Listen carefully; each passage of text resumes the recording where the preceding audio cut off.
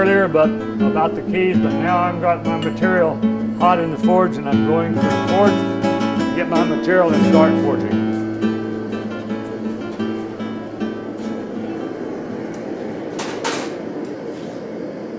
I come back to reheat, we're going to uh, need more fire. Yeah, that, that, this could have been hotter. We had our forge and idle, forge at a low speed, low temperature, but I think I can do it.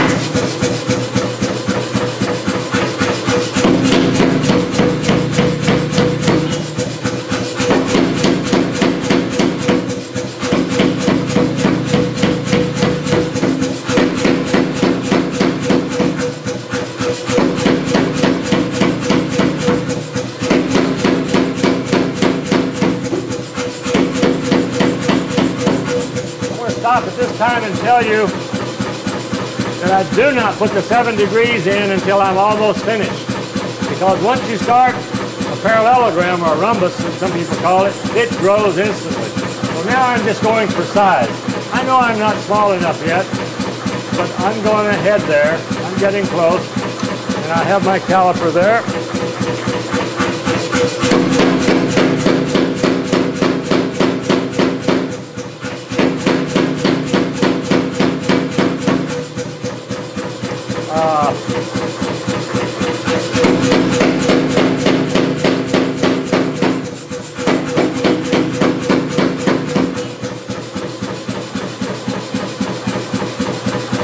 I do with the other key. Here. I'm going to use another key to measure my height. I've got a good height. Now, I'm going to measure, I'm going to use an old key because you need a three-way caliper or another caliper to get this dimension. I didn't bring another caliper, so I'm going to measure, I'm good key. So now I want to check my small end. Boy, I'm getting close. And I'm close, so I'll keep forging.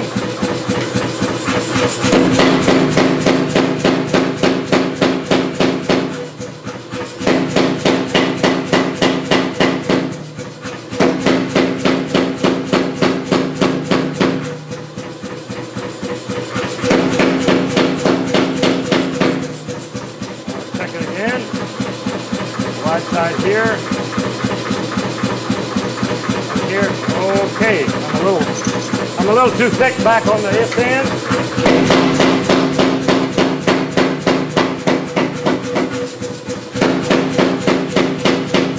Now I'm going to, I'm going to put my angle in. And I'm on a bottom key, so I want to turn it to the left. I'm going to come up on edge.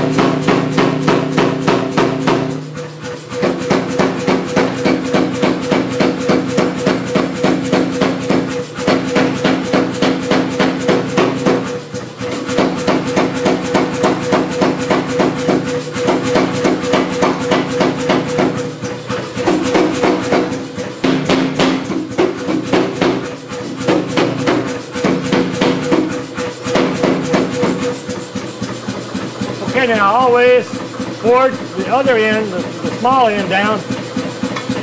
I always forge that small end down so that when I'm upsetting, it won't, uh, when I'm driving it out, it won't upset and spoil the, the hammer from, uh, the key from coming out. Now, at this point, I'm going to take my bottom key out, turn it off.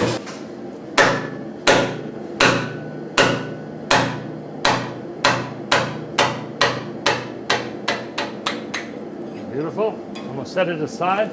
Put it right here is good. Now I'm going to stick this in and see how she fits because I don't think I got it quite small enough. Well, I got close. But you can't see it from there, but I'm undersized here. And actually, all I need is a couple more blows on that end out there. And I'm perfect. And I've got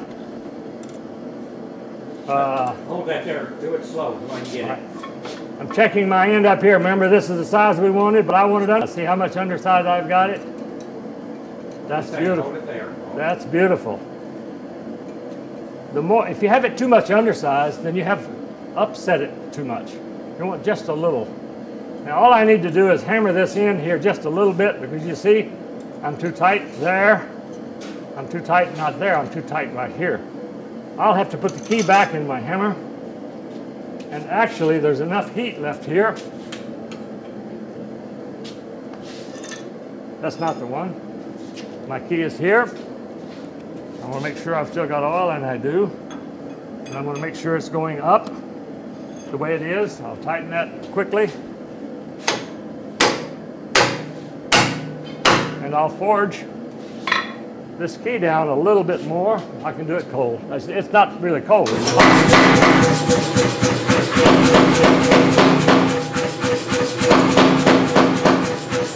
That should do it perfect.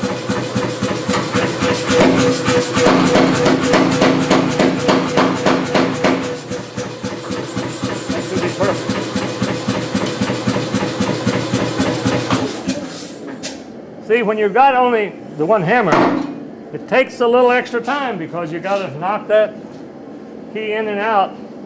You got the second hammer, it's much better because you can go to the second hammer and forge the key. You never have to do what I'm doing now. But I think we're close enough that we're going to be fitting.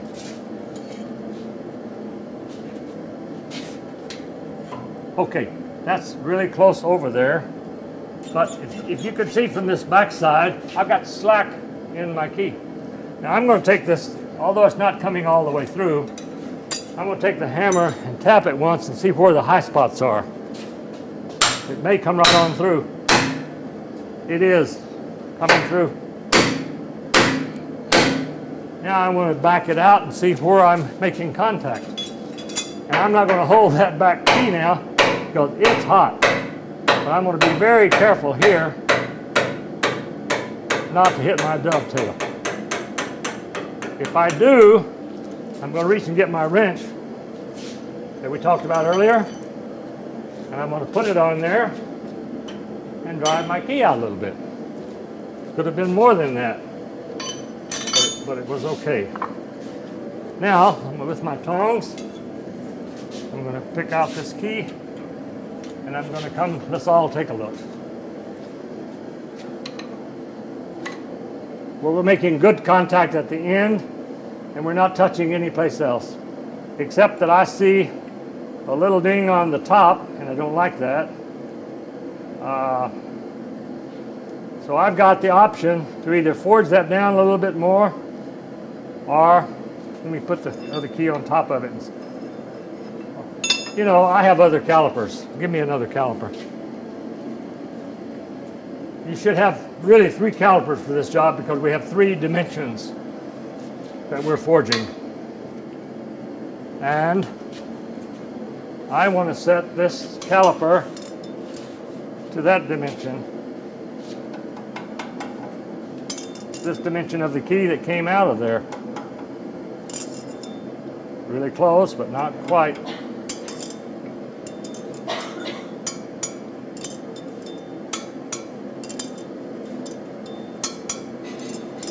Beautiful. Now, this needs to be that dimension. You see it's a little over.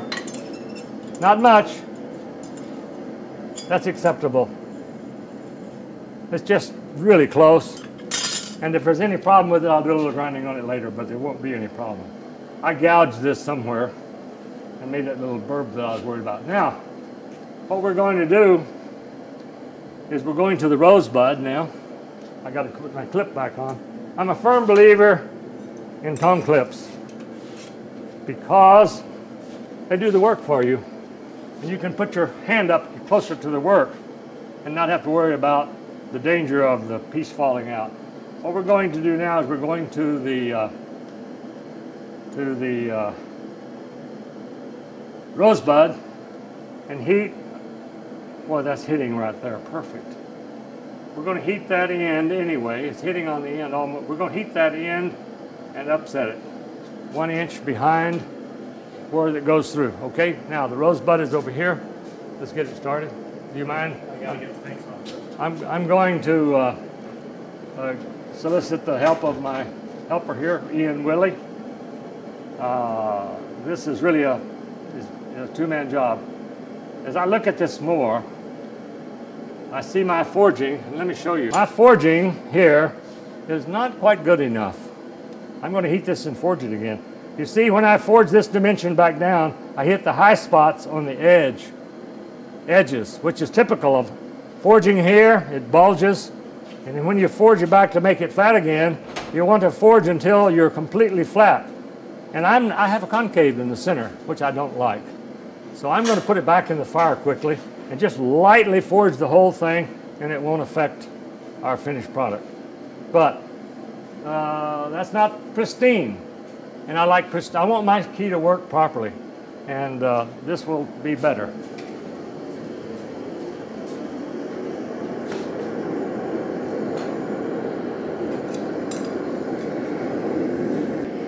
Okay, now we've reheated our, our key.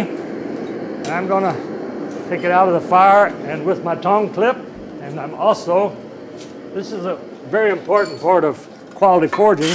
I'm gonna brush the scale.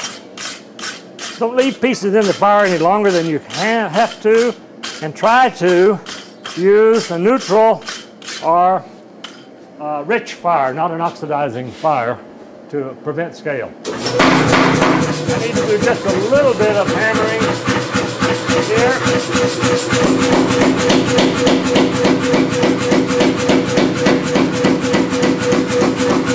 Have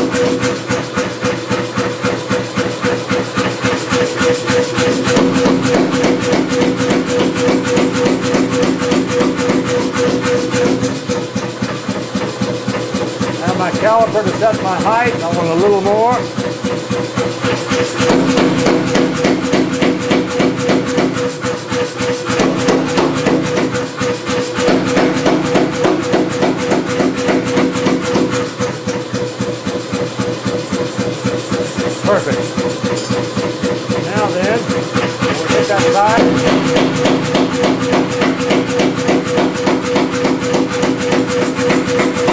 Now then, we're going to uh, let this cool while we take the key out again.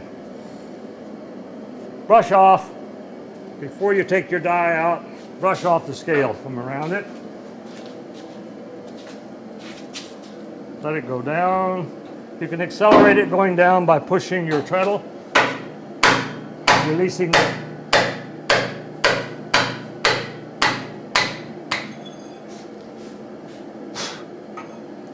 now let's see how she fits.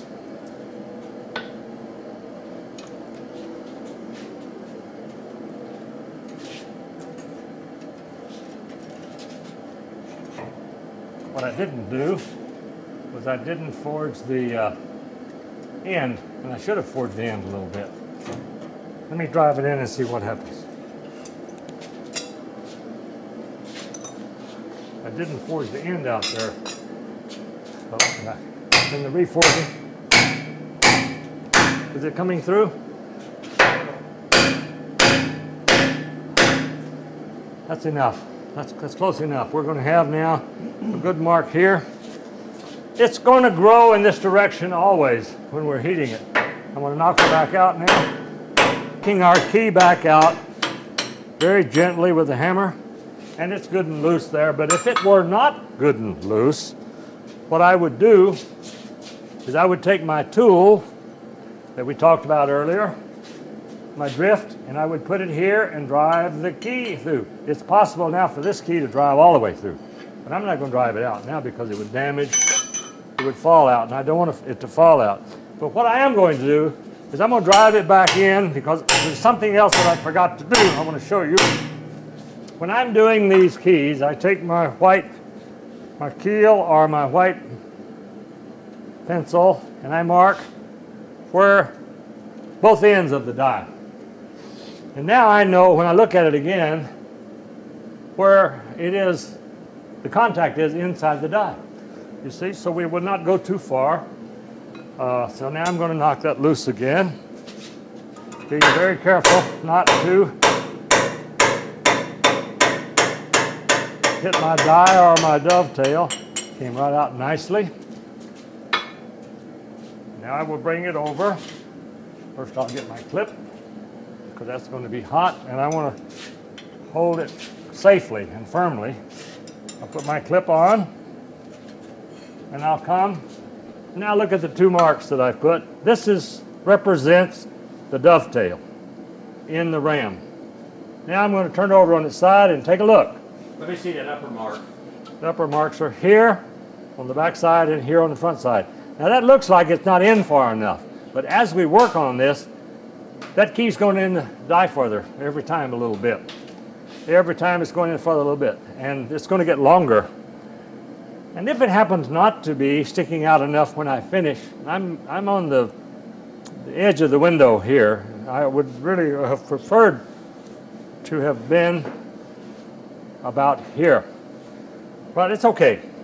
Uh, now we're going to take the rosebud. Now you see the contact. Only there and not touching here anywhere.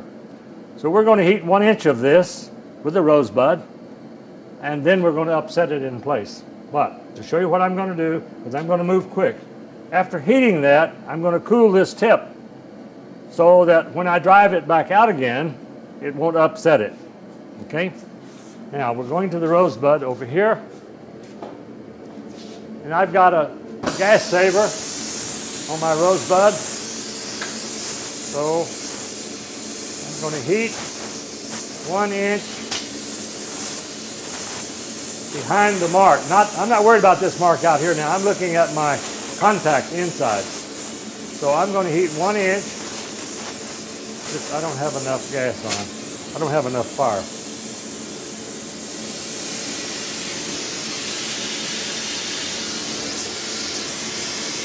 That's a little bit rich.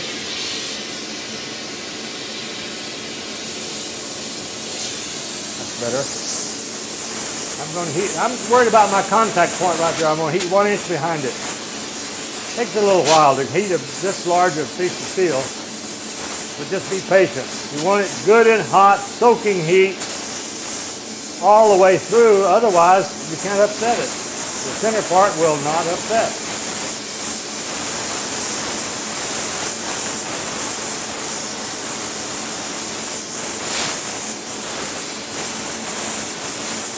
What I would have been smart to do would have been gone to the belt sander and grind that edge down just a little bit. Notice I'm working on a metal table so there's no problem with heat here. But I'm holding this up. I'm a little weak these days uh, with my medical, medical condition the way it is. And so I'm using all everything I can to support me help me. Uh, normally I would just hold this up in the air. But notice I'm rolling it, getting the heat all the way around, and I want a really good soaking heat so that the center of that iron is hot. And now I'm confident that the center of that iron is hot. I'm going to keep the torch on it, and I'm going to go cool this tip so that it will not upset when we drive it out. Now, this time we're going in, the clip comes off, and we don't need any one there. We just need to drive. We don't need a backup. We don't want a backup yet. Okay, now then, well, we didn't gain anything, and I thought we would, but we were right back where we started, which means I had almost no upsetting to do. I'm going to take a look at it now, knock it out.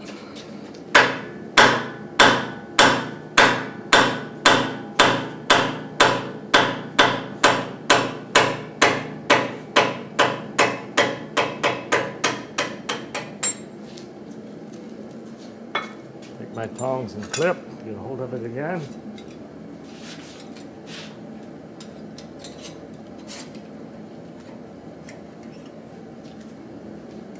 Now you can see we've widened the space.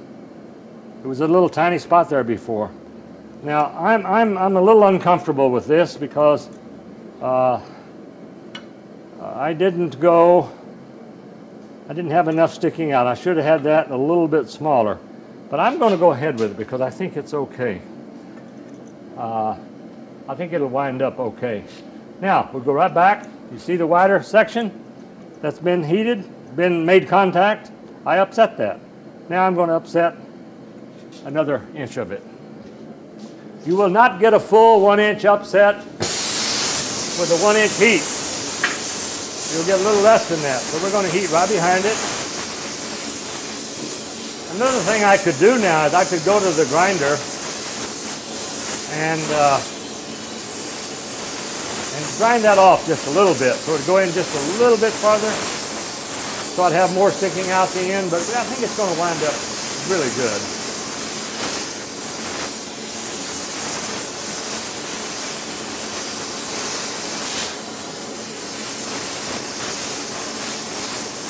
And if you've got a like a Bader grinder, once you finish, you can uh, go to the platen and, and, and equally grind the whole surface and make it go in a little bit farther. If you do that, you want to put it back in the fire again. And make sure you get the scale back because the scale is important in uh, not sticking.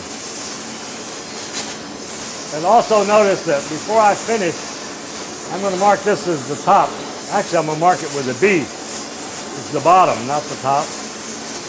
But I've got these white marks here that tells me every time which way to index it in. So I'm not going to put it in wrong anytime. Yeah, we've got a good heat here, but I want to cool that in. It becomes less important to cool that in the further you get up the uh,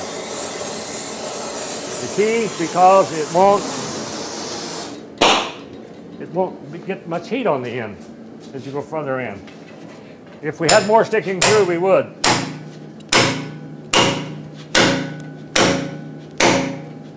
Now give me a backup.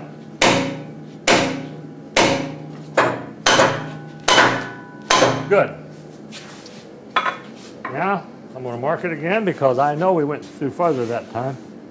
Yep. And we can see on the back side, and when we take it out, that the mark will be a little further towards the big end than it was the first time. Be careful. Do not hit your die or your cell block.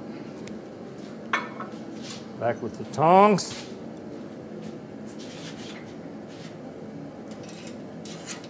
And now you see, first, we've gained a little bit. We put it in further. And we've got more contact back here. So now we're going to heat back another inch back. Show me that again. I want to see the, the, uh, The contact. mark. I want to see the white mark. The white marks. This was where we were. Let me put the pencil. This is where we were before. And that time we knocked it in further. Let me go back. Let me go, okay. Okay, this is where we were before. And now I've knocked it in further because we've actually, this has been hot as well up here, and it has actually squeezed in a little bit. I know it does that, and I knew we were going to get growth here. And by the time we're through, we're going to have growth out to about here, and then that point, this uh, key will be just the right length long distance. Okay, back to the uh, back to the forge. Now, one thing you have to watch here when you're doing this is that you don't bend the key. Now, I've bent this key just a little bit, which means I was hitting it not completely square and to bend it down. Well, what you do is you go to your anvil, and I don't have one of my anvils close by, but here is a little swan anvil, and you just take that bend out of there. There we go. You should do this instantly when you bring it out of the fire so you've got more heat left. But now our piece is back closer to straight again. Back to the rosebud. And we're going to heat another inch above our contact. This one here will put us halfway through to the end. Quite frankly, once you get halfway through, boy, you got enough contact on that key, you're just not going anywhere. And you could actually skip, put three or four spots in here and not have it making contact 100%, but having it make contact at three or four different places. Three is enough. One here, one here, and one here. And uh, it would uh, hold. I like to get it, spend a little more time and get more contact. We're doing good with our heat. Just be patient. Make sure you get a soaking heat. Otherwise, as I said before, and I'll repeat it many times, uh, the center of the steel will not be hot enough to upset. You'll be just stroking yourself.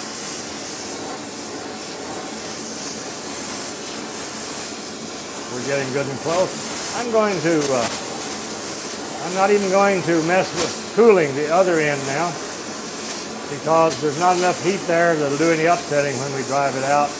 Ian, I want you to uh, be ready, but don't put the hammer there until I call you. I'm making sure that I go in with the chalk marks up.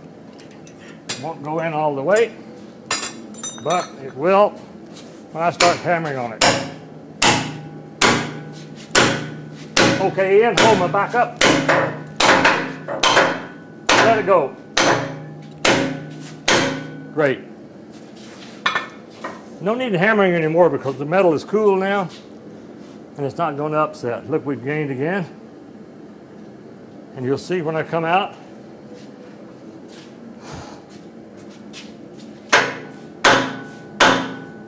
It's going to be hard there for a little bit. Actually, that piece is still, I can see back in the back here, that section's still got a little bit of red in it, but not enough red to do any real upsetting. You notice I've been very deliberate every time so as not to hit my dies or my dovetail. Now then, let's set it down and take a look. You see we gained another quarter of an inch and we've got contact further back. But we didn't gain as much as I thought because this is undersized a little more than I thought. So we're going to go right back to this spot here again and upset it a little bit more. But you see how much contact we've got there? It's almost 100%. Show me the uh, bottom. Yeah, right there. We've gained this much again. All right. Ian, I'm going to let you heat this and I'm going to sit down. You want to heat it out above this last contact mark. You heat it right in here, right in there, this way a little bit more. We're a little past center.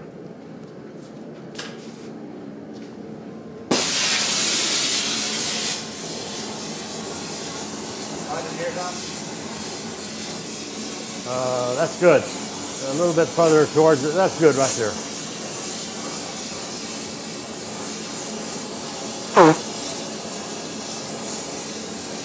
Ian is helping me here now. Uh, I don't want to cry wolf or anything, but I'm a little bit on the weak side. Most of you know my condition.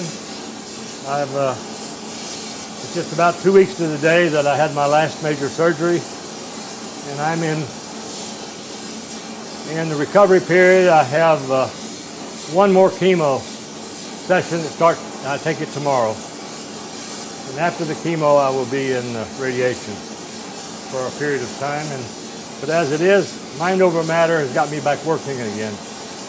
Uh, God's not through with me. Uh, I have things to do, and, uh, I believe He's just sent me a warning signal. And uh, now we're getting close. Ian is helping me, and I'm resting. But I want to do this job myself. It's a major part of it.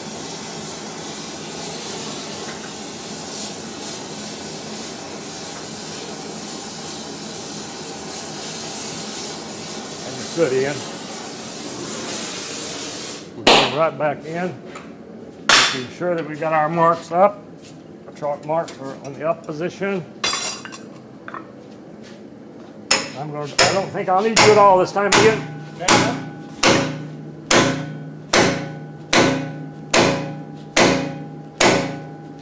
that's as far as we can go. Now, I'll mark it again so we can see if we've gained any. Now we've got enough key out there. I'd like a little more, not much. I don't like long keys sticking out here because frequently we forge from this side.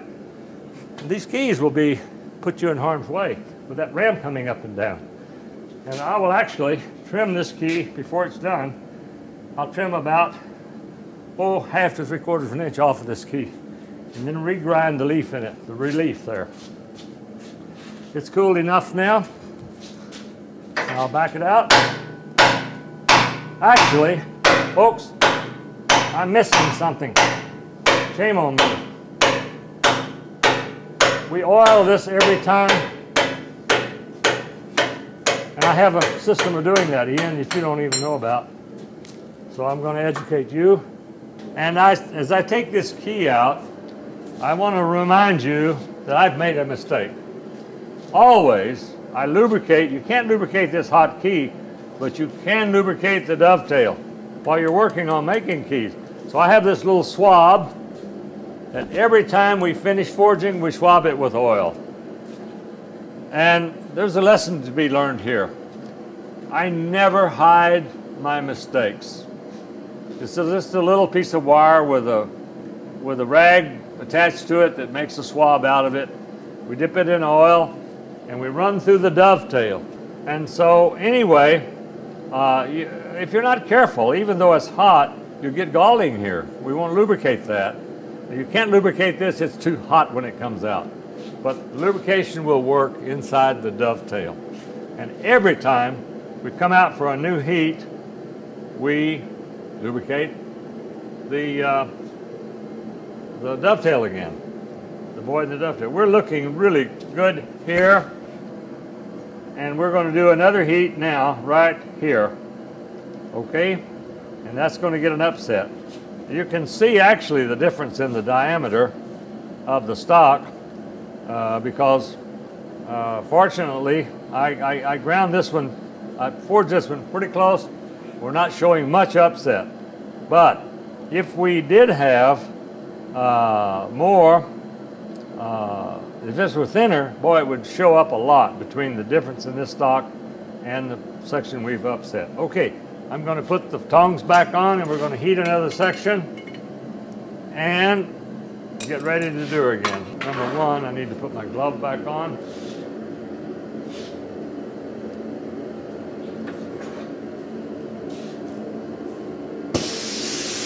Sure most of you know about these gas savers. But boy, they are really good. I have uh, this side shuts the gas off, and I built onto mine a stand to hold the torch while it's burning. So if it's something I want to heat, and I need two hands to hold it, well then my torch is held there. And Ian, would you come please come heat this? Because I need to.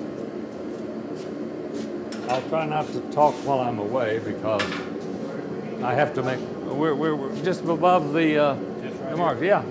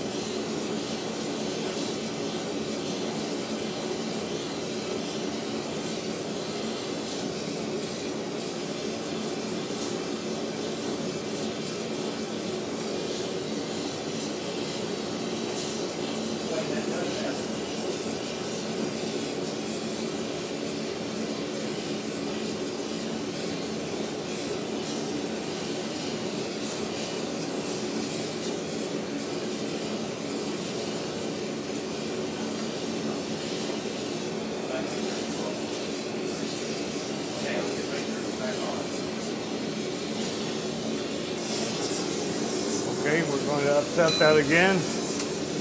We're going to go right back in. We've already lubricated. And we're going to put our right side up. After I do it this time, I'm going to uh, mark. Oh, okay, back it up. Good enough. We will have gained a little more sticking through. We're getting perfect. But we're going to mark it and knock her out again.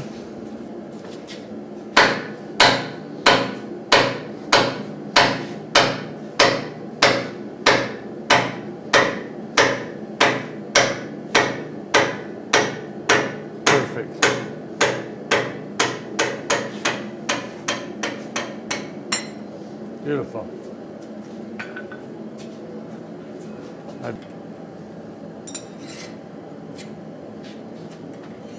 And we're going to see that we've gained a little more in distance and we've gained a little bit more in contact. So right here, Ian. Okay. You want to heat this section right through here. Gotcha, Tom. Can you turn it over and show uh, the initial how much length we've gained? We've gained another oh, 3 sixteenths of an inch. And now you see we've got plenty sticking outside of the die. We're going to gain a little bit more. And the first thing we're going to do while Ian does this, I'm going to lubricate. Well now, this is a good time. Pretty soon we're going to finish this and we want to make sure I always know what the top is while I'm doing it because I have here these pencil marks. But we need, this is the bottom die, so we need to put a B on there. So we're going to take a B stamp with a B, and we're going to come back out to about right here. Anywhere along there is fine. Okay. That's good. And we got a B on there. Bottom key, the B always goes up. Ian, I'm going to let you okay, reheat that, and I want to tell you folks something else. Uh, as a, when you check your hammer daily, check the oil.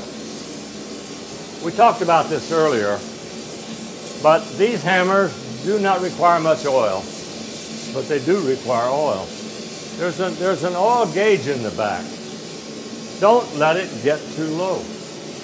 If it runs out of oil, it's going to seize your piston. And as I talked before, that's happened several times. And it's repairable without buying new parts 99% of the time. But it might be that if you do it bad enough and run it long enough, it will ruin the piston. It'll also ruin the cylinder, and that's a very expensive repair. Don't run them without oil.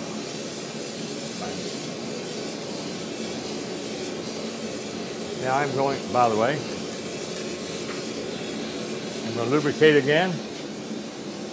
I'm going to lubricate again every time between keys. I'm going to run that swab through there. But between upsets, I'm going to run that swab through there. And lubricate. Come, yeah, come back to me a little bit. Now you're doing good. Even, uh, yeah, even a little further back this way would be fine.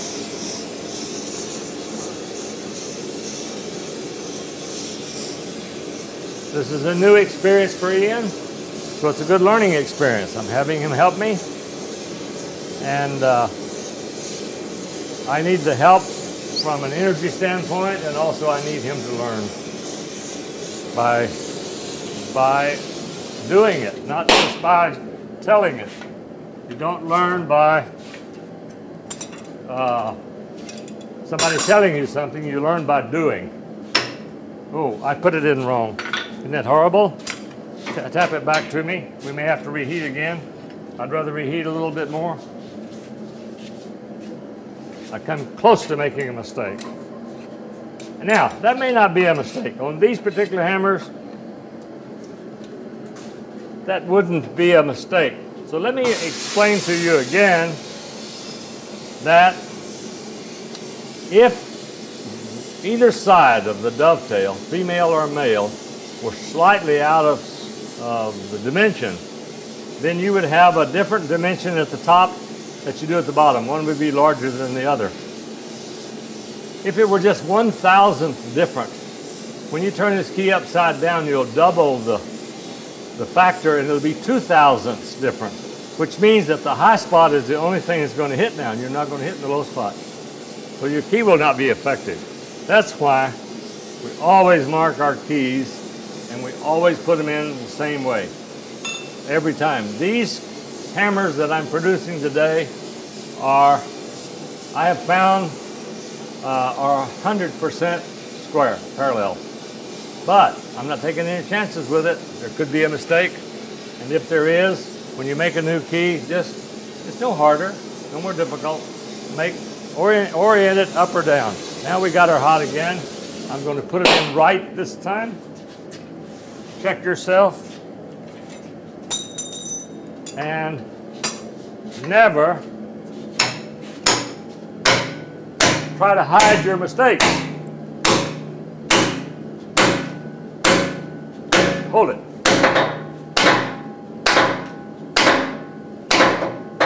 Good. Looks like we're really doing abuse to the hammer, but we're not. Uh, this all is solid. If you were doing that on the top, you would have a backup all the time because of the what I mentioned earlier about the ram. Now I'm going to mark again, and we've gained quite a bit that time. I'm going to knock her right out.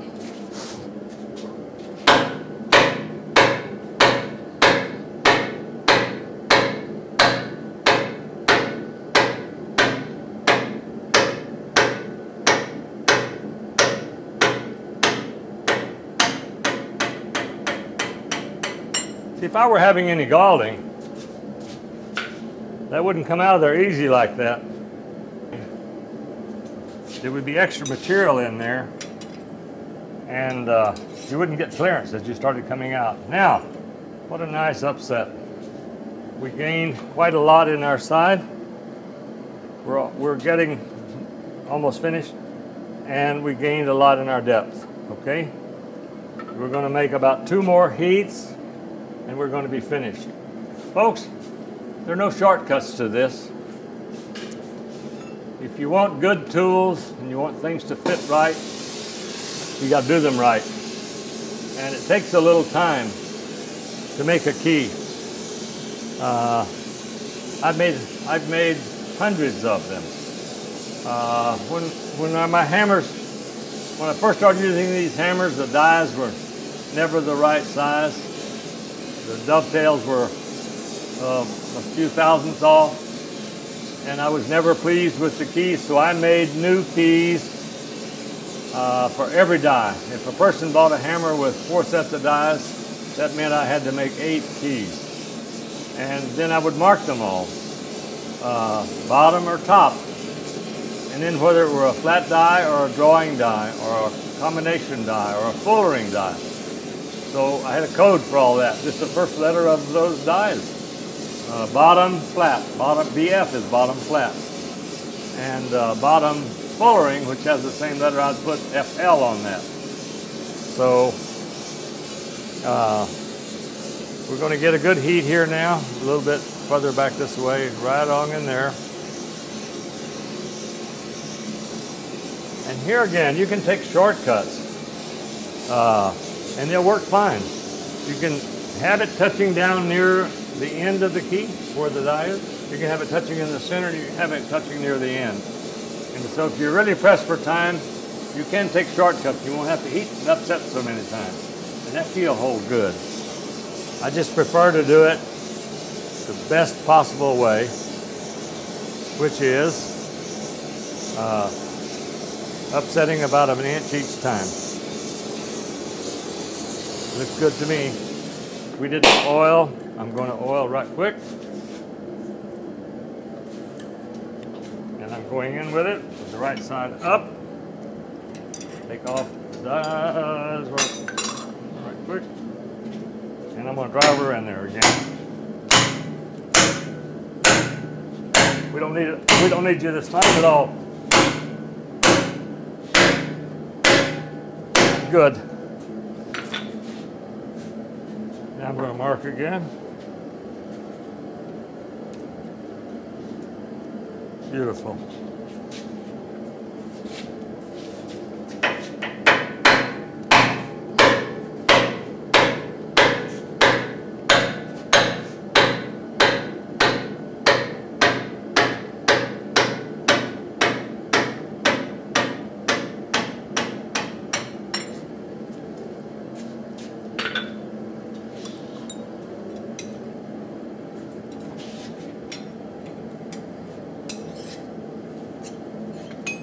Now we've gained again.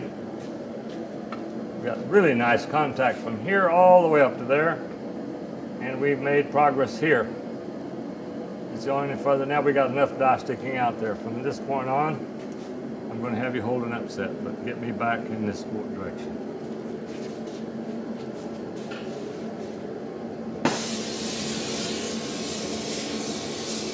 Now some people, I've seen people misforged this. Let me come back around a minute. Misforged these in the beginning. They had it fitting here and it was too uh, thin on this end.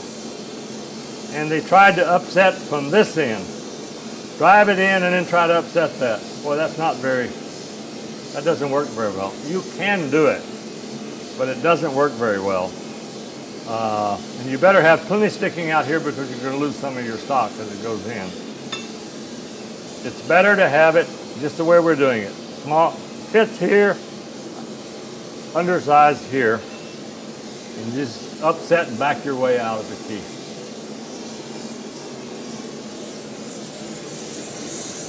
Come on back a little bit, right there.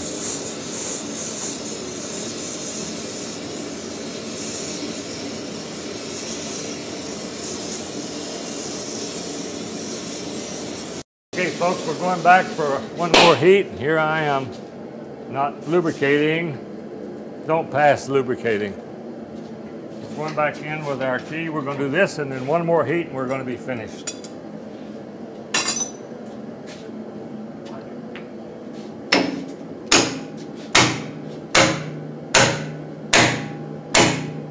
Hold it in.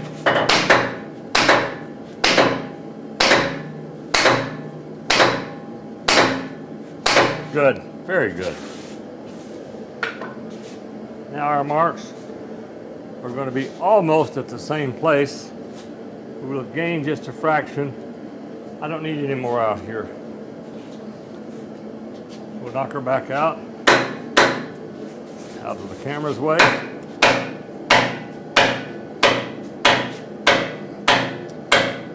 This key, although it's not covering the entire width of the dovetail will not come loose.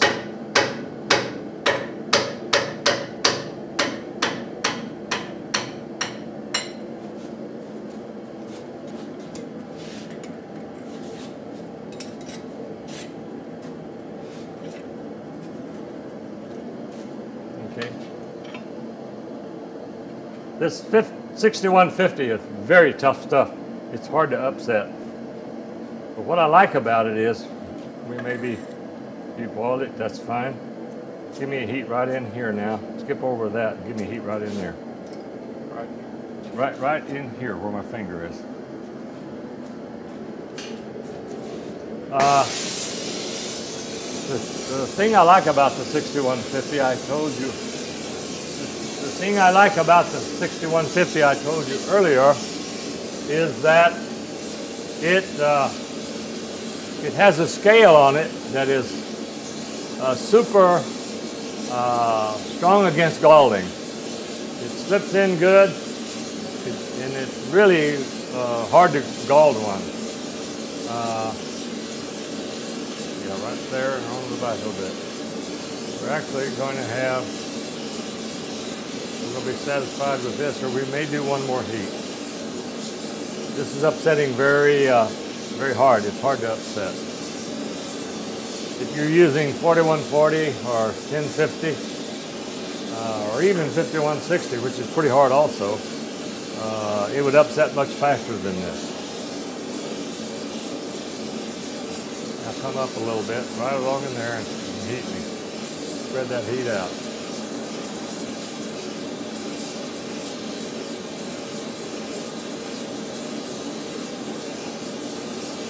What you don't want to do is heat it beyond the point where it goes in the uh, dovetail because if you do, it'll upset outside the dovetail and you can't drive it in.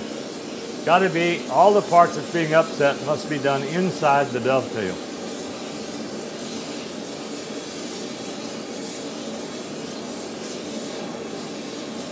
That looks real good, Ian. I'm going for it. We have lubricated earlier. Yes. And I'm going to get rid of my tools really quick and drive her in there.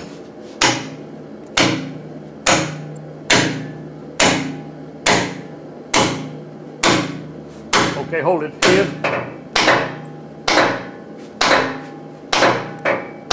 Very good.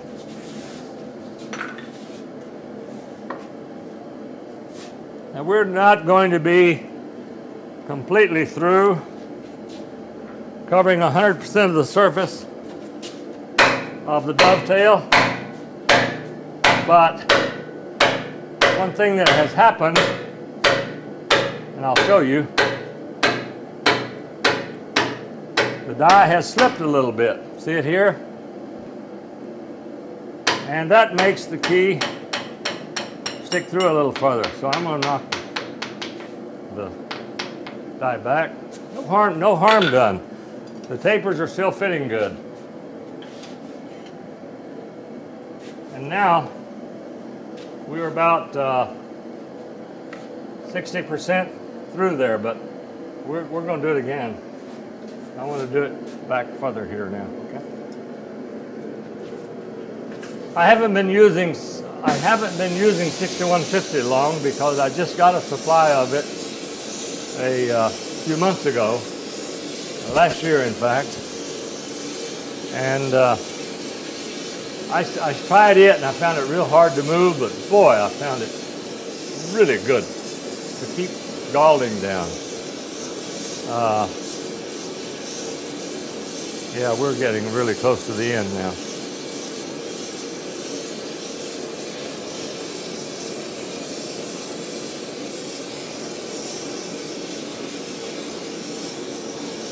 Could heat this faster actually in the gas forge, but then you'd have the whole end heated and you'd have to quench it, lose some of your heat, and uh, this is the best way.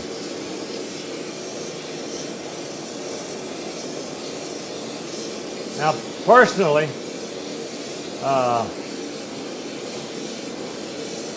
here again, I don't mean to brag, but I've gotten good enough at doing keys that uh, I don't use the rose, rosebud anymore. But I've got two hammers. I draw the the uh, key on one hammer, and then I use the flatter to knock the high spots down. And uh, I would have already had two keys made and finished by now, or maybe three. But that's a higher level of forging, and uh, and you've got to put a good keen eye on it, get it really close. There'll be a few little high spots. Take your flatter on the flat dies, bring those down before you make one fit really good. Uh, I couldn't make uh,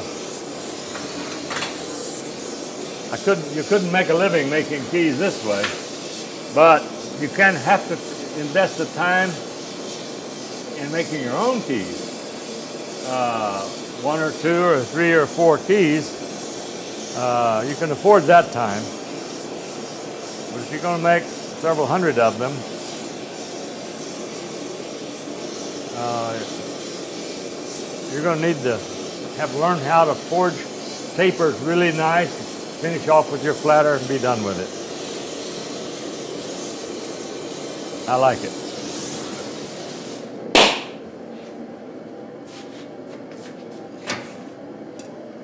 Almost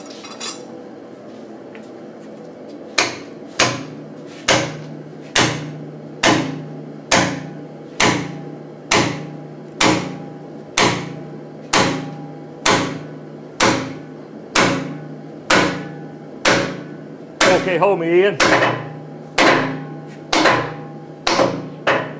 Okay, that's good enough. That's going to be, it's very difficult to upset right out at the end because the heat is outside. And so we've got more than enough surface here now. Contact to hold that die just as tight as it can ever be held.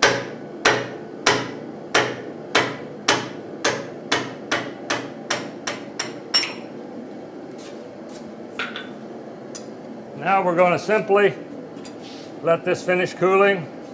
And what we've got is a key. Huh. It needs a little more. I'm sorry. Ian, we're going to have to heat uh, one more heat right in here.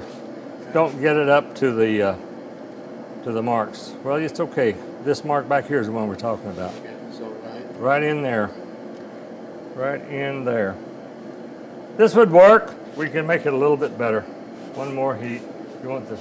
You want the? Uh, let me get the clip on.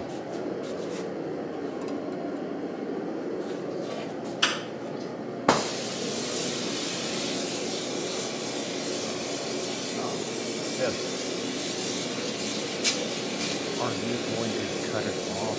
Or how are you? Cut it off. All right. We're to. What we're going to do when we finish here is we're going to cut this off so it's not sticking out too far. You notice I used extra material to make the key. That gives me plenty of material to hammer on. And then we're going to cut it off so that about three, uh, four inches at the most are going to be sticking out the other side. And the way we made this one, we don't need to cut it off because we've only got about two, two and a half inches sticking out on the side. Follow me if you will. That you're going to be forging a lot and that key will not be in, put you in harm's way in a short distance like that. Uh, this sow block key here, for instance. Before I finish and let this hammer go out, I'm going to cut that off. You got to be careful. Don't cut it off so that you hit the sow block. I may leave, this one's okay. It's inside the anvil. But I, I, I- would really like it if it were a half inch or so shorter. And uh, that's going to be, after we do this heat, we're going to call it a wrap on making keys. Not simple. Lubricate again.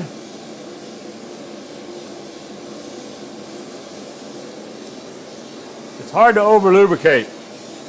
Uh, it's safer to over lubricate than it is to under lubricate. But again, if you over lubricate the hammer, the too much oil on that long big bearing surface will cause friction and it'll rob a little bit of your power. Okay? Now as soon as we finish this, I'm going to do a couple of forging demonstrations. I'm going to make a hot cut hardy and I'm going to make a nail header uh, and I like that demonstration and both those demonstrations because it shows you a wide range of things you can do with uh, within one forging. And making the nail header in particularly, uh, uh, I will take, I'll take the time to talk about that as soon as we finish this last heat, when we're ready. Going in the right side up.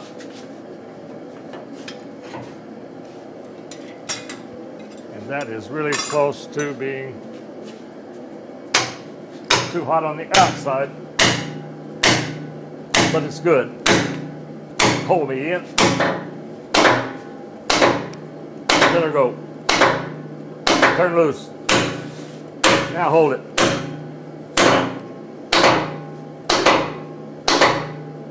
Finished. I'm going to mark this key while it's in the hammer where we're going to cut it off. Right there. Now we're going to knock this key out and let it cool.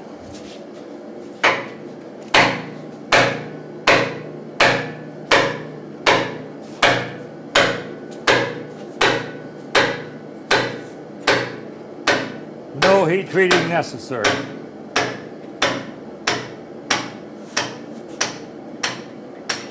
Okay.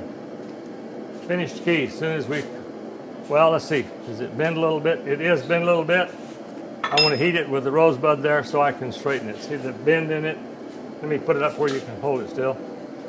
With that bend in there is because I wasn't hitting straight. In this case, it was because I was hitting up instead of straight in. We'll straighten that, heaten it up a little bit. No harm done.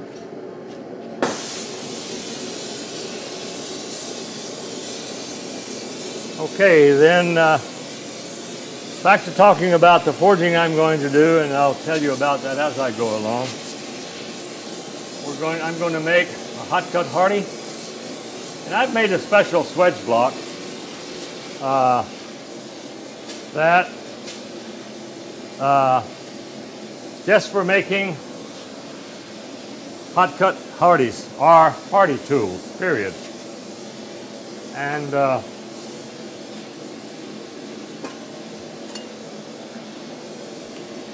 I started making these because you can't buy one. Every hot cut Hardy that uh, is available that I've ever seen is a cold cut. It's not a hot cut at all. And uh, the people make cold cuts out of them because the steel is not uh, good enough to make a hot cut and are they don't know anything about making hot cuts. A hot cut, I'm going to draw right here, and I think the camera can see it. Uh, a hot cut has a very small taper all the way to the cutter. A cold cut comes like this and has a big taper. So it's got a lot of strength behind. They're normally tapered a little more than that. Got a whole lot of strength behind the edge to support it. This has no strength behind the edge, very little, but it will penetrate hot steel very quickly. I make my hot cuts out of 5160 and I heat treat to a very dark straw about three quarters, no more than one inch of it.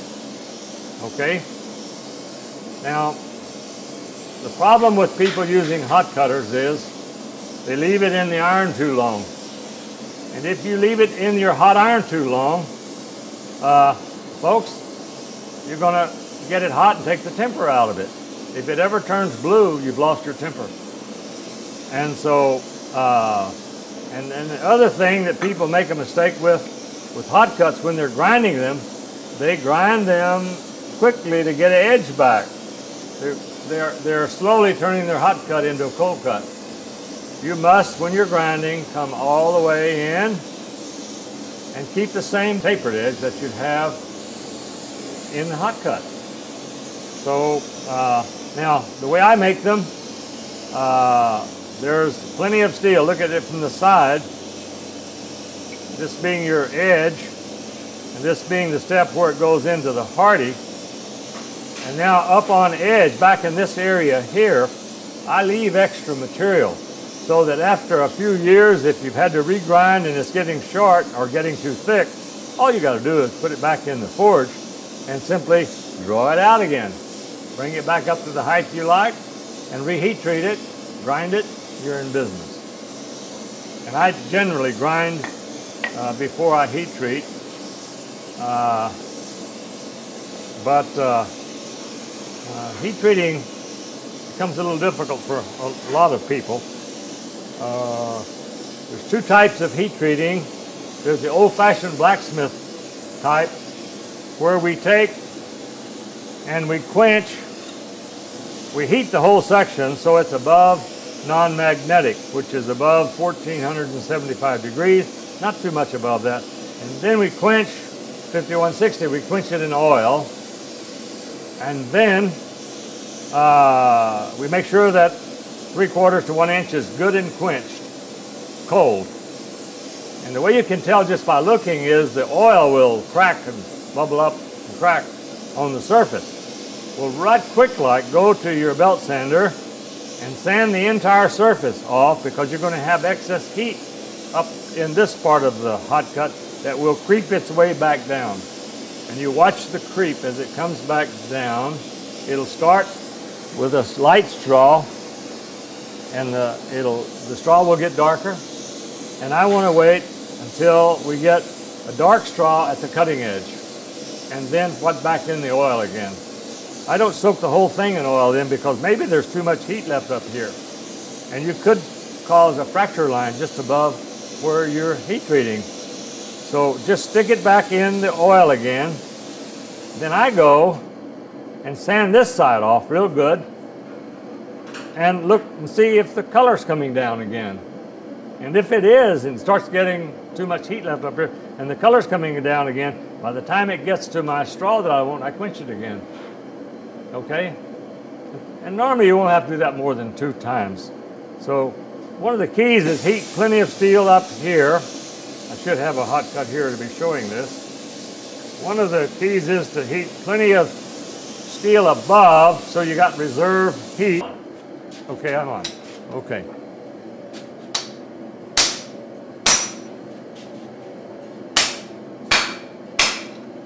Perfect. Now we got a good key, nice and straight, and it's going to fit. We're going to cut it off here, but we're not going to do anything to it. We're going to let it air cool. And it'll get a bit of hardness in it that way. And uh, we're not going to quench it, but we're going to air cool it. I, always put my, my hot iron never on top of the forge or on top of a table or anything. It goes out of harm's way under the swedge block in this case, right in next to the forge when I'm forging, or under my anvil when I'm hammering by hand, never on top. Now folks, as I promised you earlier, I'm going to do a little bit of a forging demonstration. And what I've done, I'm going to make a hot cut Hardy and I'm going to make a nail header. When I make my hot cut Hardies, I start, I use 5160 and I start with a billet like this. In this case, I'm going to make an inch and a quarter hot cut, which fits the anvils, the Ozark pattern anvils. All right, and then, so I take my piece of steel, I know what I need in size, and here's an important thing. I run a bandsaw edge cut right here and on the opposite side, and that's going to be the place where I butcher off a section that's going to make the tang. All right? And then, after I do that, I will forge it down to near the right dimension. Excuse me, but the other tool is over here. And then I will put my kiss blocks, which are inch and a quarter, in the power hammer, and I'll draw the tang precisely to inch and a quarter. All right? And it will then fit in the new swedge block that I've made, and I'll show it to you in its entirety before, because I have five different sizes. Three quarter, seven eighths, one inch, inch and an eighth, and inch and a quarter. All right? Now I can forge those all precisely within five thousandths of an inch under the power hammer using double kiss blocks. So I'll set that aside. Now, also I want to call to your attention to really expedite things. I've only welded half of this rod on. Well, uh, most people, until they really learn to forge and hold their iron straight, that'll break right off during the forging process. However, uh, I, I, forge it and hold it straight, and I, and I rarely ever have had one fall off. It was a bad weld if it fell off. And what I do is, once I get it ready, fully forged, and ready to go into the swedge block, I simply put it in the swedge block and, and that weld will break right off. I don't have to go to the chop saw. This weld will break right off, the handle's gone, and at worst, I take it to the grinder right quick and grind this mild steel off so I don't, it doesn't interfere with my finished product because this end is going to be the cutting end of the, uh, of the Hardy. Now, so the first stage is this. Now I've cut off this end, I've forged my tang. The second stage is I'm going back in the hot in the swedge block and I'm going to forge this down and make these shoulders flat like this. And so the third stage after getting that set is to draw out the cutter. Here's one freshly drawn just the way I draw them. Take a look if you will. And we've got a nice taper. This is the finished forging without grinding. And then I take and measure parallel. While it's in the block here, I put parallel blocks, and, and let me turn it around so you can see the mark. I put parallel blocks to make sure that my cutter is parallel to the anvil face. All right, and then the next stage is we take and go cut it off with the chop saw. And the third stage after that is we grind it, like I've ground this one, and heat treat it. And the heat treat you can see here is a very dark straw. Can you see that color with the camera? We can. Very dark straw. Now my, I'm not going through the heat treat process now, but now my, uh, my uh, hot cutter's finished. Ready to be polished up a little bit, but please look that there's been no grinding going on anywhere except on the cutting edge. You can do precise forging with a little practice. Okay, now I'm going to take all this off. We'll put one of these in the fire, which, and, and you, I want to clear this table because I'm going to show you the nail header next. Well, by the way, butchering is I've done with the with this butchering tool and it's very important. That looks like a 90 degree angle, but it is not. It's about 87 to 86 degrees.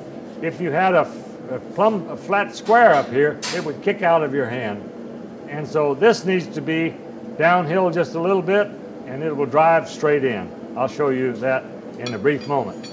Now also I'm going to show you another thing. It's real easy to cause cold shuts where you do butchering back near the near the shoulder. But once I forge that down and get my butcher in, I'm going to put my uh, my a little half round fullering tool away from the butcher a ways, and I'm going to forge down there, creating a, a point that sticks up like this, a rounded point.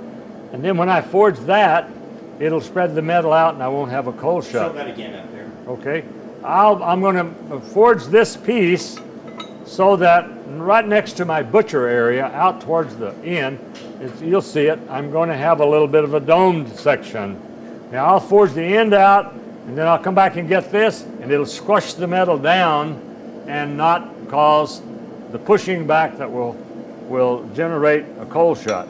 Okay, so I'm going to get rid of these things now. All of these tools are off and gone, and I want to get to the nail header. Okay, I start making nail headers with a piece of 5160 and I've already radiused off the edges and, and I'll show you why later uh, because that's part of the forming it into the round. And I use a pair of tongs dedicated for this job. You see they've got the stoppers in them.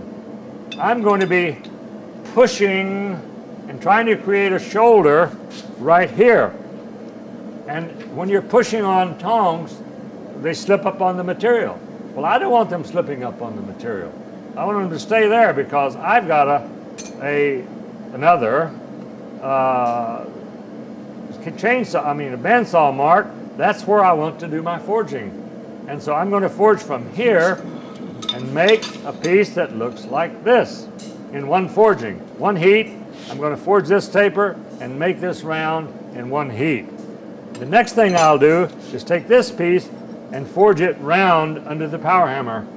Okay? And the next thing I'll do is make the dome on the nail header. And I'll do that with these two tools here. I put this under the power hammer, put the flat piece in there, the unforged piece, which is already round, in like this, and I'll use this forging tool, which is a half round, sort of, and I'll forge it right down in there and make the dome okay? The reason we put domes on nail headers is so that when you're forging the nail and you want to put facets around the edge, it will not, your hammer will not hit. I've been using this tool for about, oh golly, 15, 20 years. It used to be about this tall, and you can see how it's compressed itself, all cold forging. I've used it so much. And uh, I made one at that same time for my good friend Phil Cox, his is still about the same original height. It's simply a dome. Let me roll it for you a little bit, and you'll catch the shape. Perfect. That has not been touched in 15 years. Okay? 10 years or more anyway. This tool, which is my cupping tool or my fullering tool, uh, I, I just make a saddle and put it on the dies. I'll show you.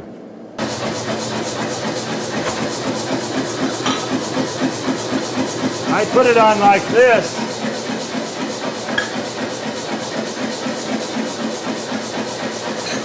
You'll see later, but I'll show you in slow motion. I put it on like this and I cup it like that. And at the same time, I push it over, bring it around like this and put my touch mark on it right here. Okay? So I don't want this tied down. It's not going anywhere. It would go someplace if you hammered it cold, but I've got control of it here. I've got a piece of steel in there. Okay? If you're making your own uh, hot cut hardy or any hardy tool that goes in your anvil, then make sure that all the edges are radiused and that they're not sticking out inside because they get hammered on and they get dinged inside and if you put something in there that fits that hole then it will not be tight. Okay?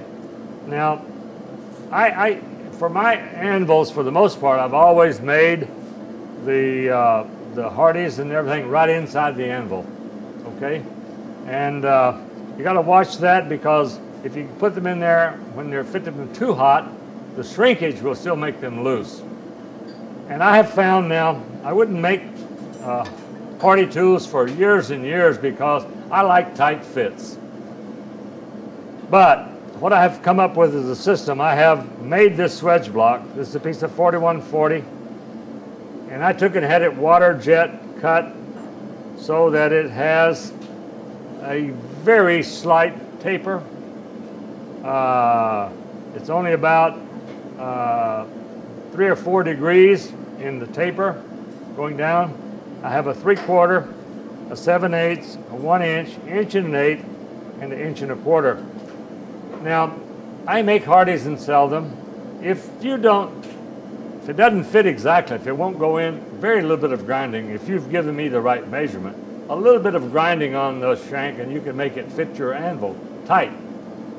If it happens to be a little bit loose, you can take, let me show you here. Let me get one back up here.